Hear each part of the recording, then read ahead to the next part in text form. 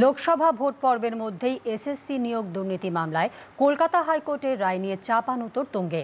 এখন মামলাটি সুপ্রিম কোর্টের বিচারাধীন। আগামী সোমবার শীর্ষ আদালতে ফের শুনানি হবে এই মামলার। মালদা নির্বাচনী সভায় এই প্রসঙ্গে আজও রাজ্যের বিরোধী দলগুলিকে নিশানা করলেন তৃণমূল কংগ্রেস সুপ্রিমো মুখ্যমন্ত্রী মমতা বন্দ্যোপাধ্যায়। মানুষকে তো বাগেরা এখন। শিক্ষক, শিক্ষিকাদের চাকরিও খাচ্ছ। আগামী দিন জেনে রেখো এরাই তোমাদের আসল জবাবটা দেবে।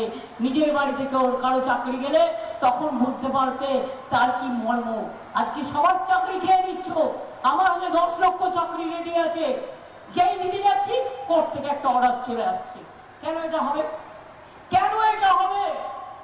যদি অন্যায় হয় বলুন এটা সংশোধন করতে আমরা এক পায়ে রাজি সংশোধন করে দেব। কিন্তু চাকরি নিজেরাও দেবেন না। লোককে চাকরি দেবেন বলেছিলেন।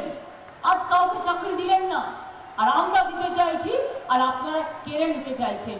যাদের তোমরা নিচে ফেলো, সে তোমারে বাঁধি বেজে নিচে, পশ্চাতে রাখিছ জানে, সে তোমারে পশ্চাতে টানেছে। আগামী দিন এর উত্তর মায়েরা দেবে, বোনেরা দেবে, ভাইরা দেবে, কৃষক দেবে, শ্রমিক দেবে, মজদুররা দেবে, সবাই দেবেন, মাথায় রাখবেন, এটা ভালো করে।